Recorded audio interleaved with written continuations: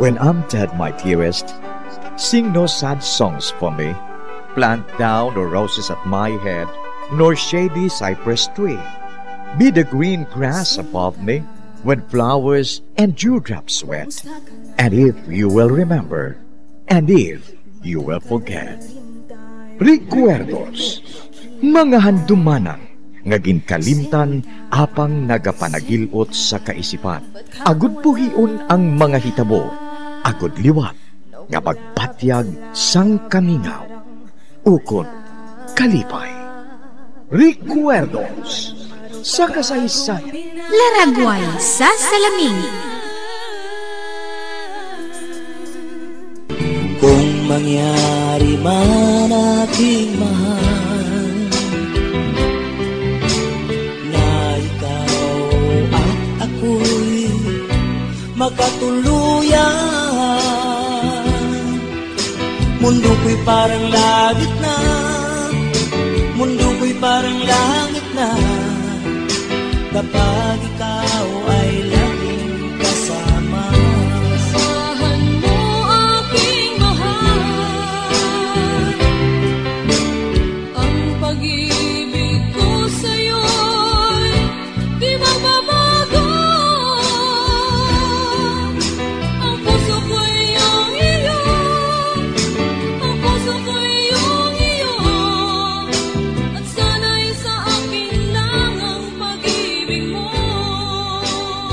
Kagkaron sa kasugpon sang aton sugilanon diri sa Recuerdos sa kasaysayan.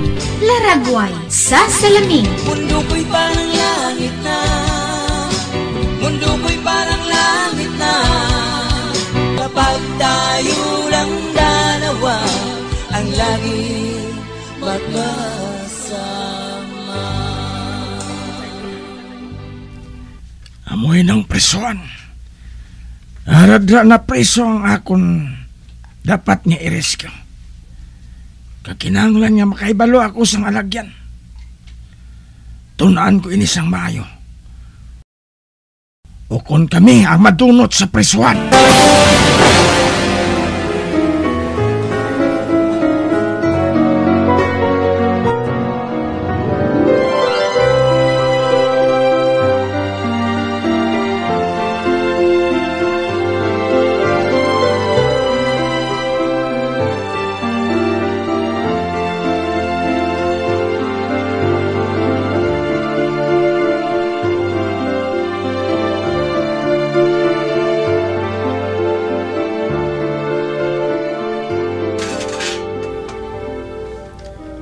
Hindi ba lang nga may pakaisa ka dira sa presuan?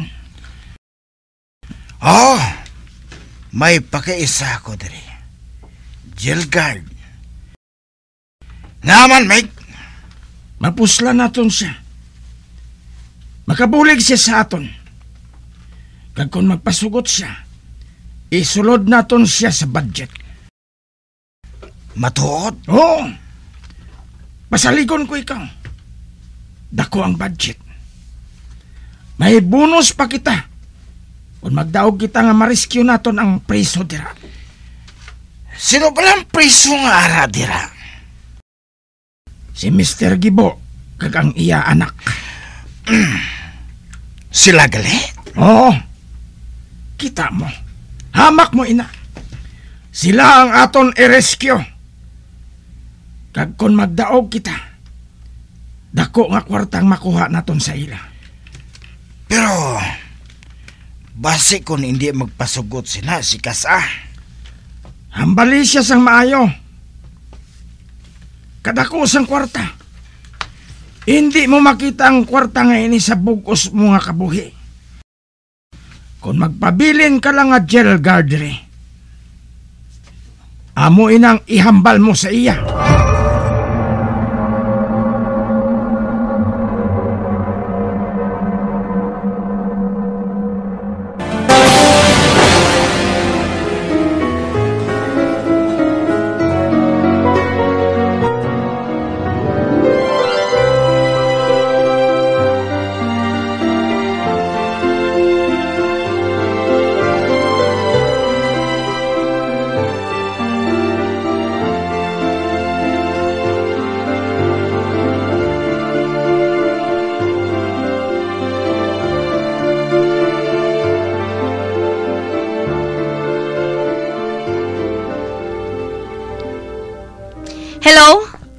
Boy?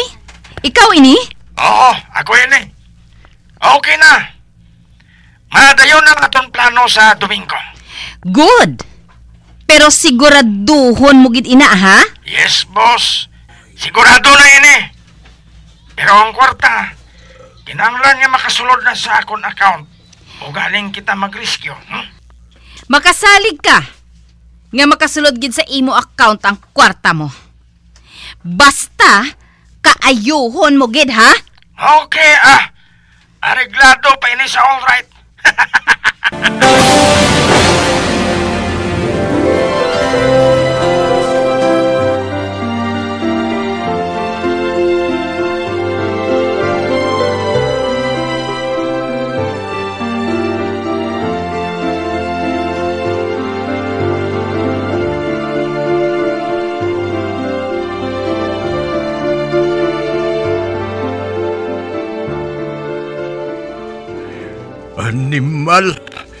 sino magunahuna nga maaristo kami sa mga NBI?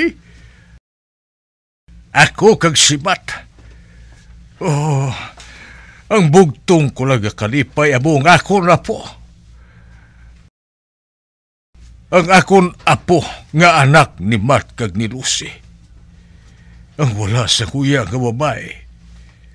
Ginlikom niya nga nagabusong siya. Wala gid ako magunahuna. Siya ginpili ko nga maging asawa ni Matt. Bangod mahalam. Kag lista. Wala sang bisyo. Pariyo kay Lute. Apang si Lute. Siya gali ang naluyagan ni Matt. Apang hindi ako magpasugot sa to. Bangod malayan ang background ni Lute. Kani si Lucy ang akong gimpili para kay Matt. Wala man ako magsala tungod nagbusong siya. Apang karon lang ako nakahibalo. Si Lute gali hindi makabata. Karon lang ako nakahibalo. Nagapanuigon pa lang sadto sang 16 anyos si Lute. Apang may relasyon na sila sa ngako anak. Sa may balan ko ini. Ginpa eskwela ko si Matt sa iban nga pungsod. Agud mautod lang ang ila relasyon ni Lute. Apang makaligad ang pila ka tuig. Sa makatapos sang iya pagtuon si Matt. Wala gid ako magpaabot nga nagbalikay silang nga duha.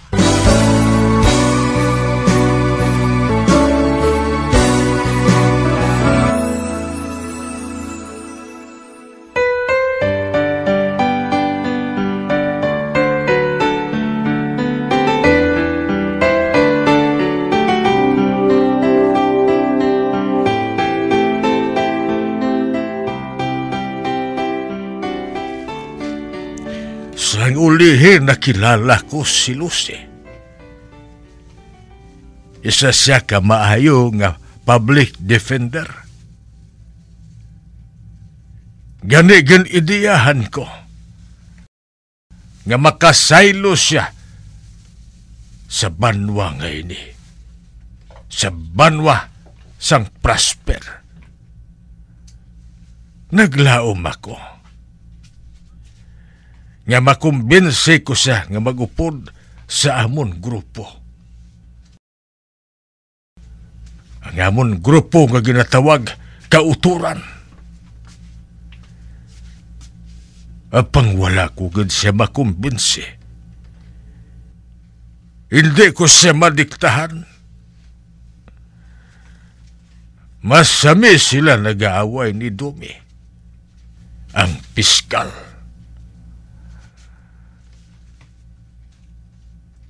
Makasarang siya nga ipakigbato ang iyang matarong. Tugod maalam man siya. Gani gin gusto ko nga makasal silang aduhan ni Matt.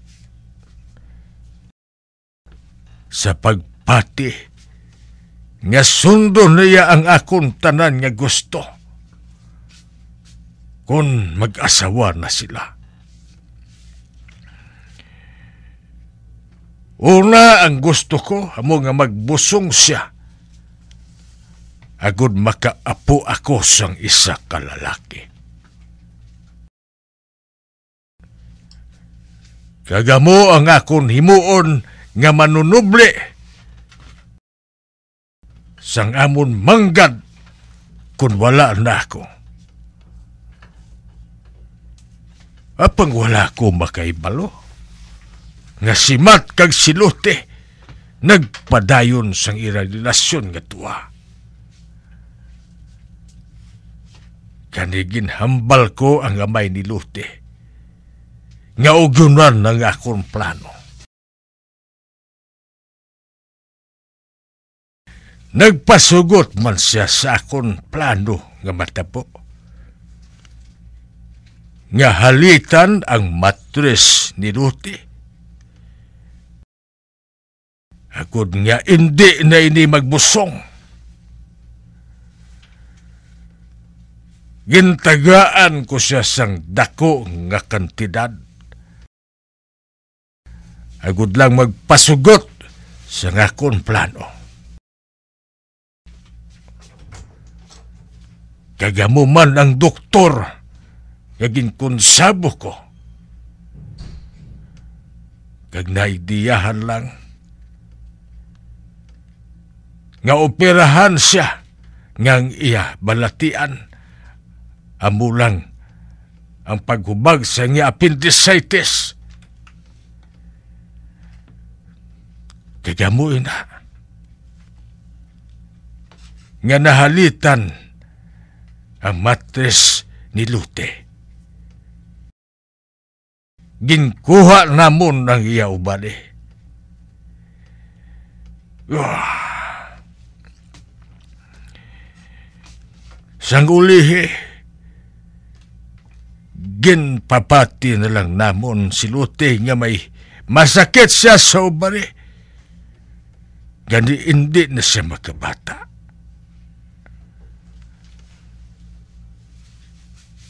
Kagsugod sad to. Wala na ako sa problema bahin sa iya. Amo man kay Mat. Bisan ano ang buhaton nila ni Mat. Wala na siyang katalagman nga makabata siya. Kag sigurado ako nga hindi na ako makaapo. Hindi na ako makaapo kay Lute nga isa ka proste.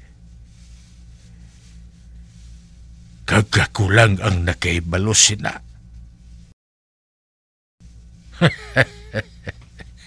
Ako lang.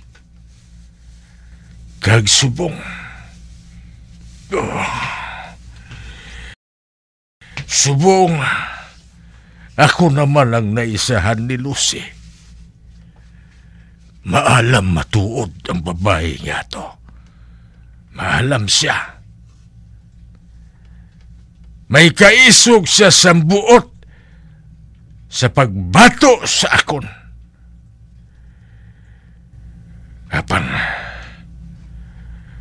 buhaton ko ang tanan, agud makuha ko ang akon apo sa iya. Buhaton ko ang tanan!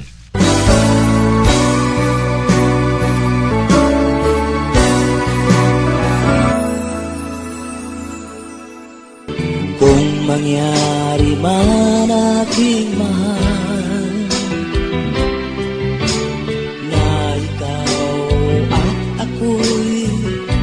magkatuluyan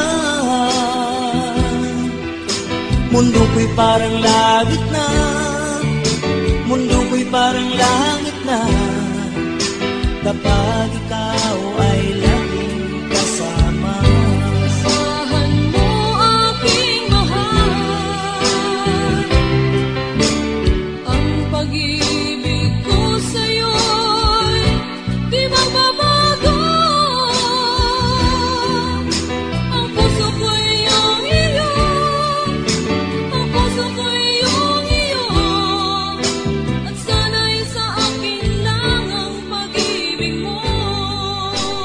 Mga abyan, sundan ninyo sa pagpamati ang kasugpon sang aton sugilanon diri sa Recuerdos sa kasaysayan. Laragway sa salamin. Ginsulat kag sa direksyon ni Elizabeth Batidwan Navarro. Bombo Radio Philippines. Patuloy na number one sa drama. Fast Paradyo! Bombo!